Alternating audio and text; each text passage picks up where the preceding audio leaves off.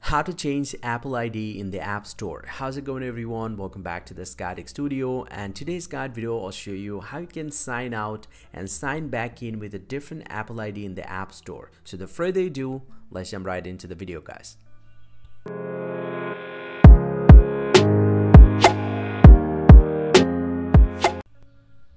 Well, so changing Apple ID in the App Store is pretty quick and easy. Simply go ahead and open up the App Store from your device and from the home page, go ahead and tap on this profile or the Apple ID icon at the top right. Now, once you're here inside your account, you just need to scroll all the way down to the very bottom.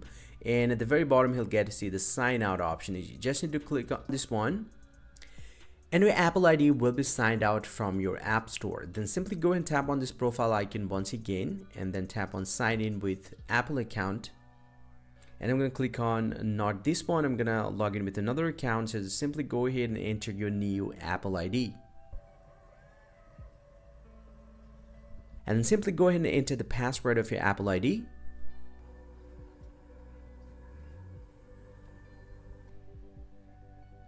and you will be signed in with this specific Apple account and this is how you can change the Apple ID in the App Store. Hope you find this very helpful guys. If you do please drop a like and subscribe to the channel. See you guys around and thank you very much for watching.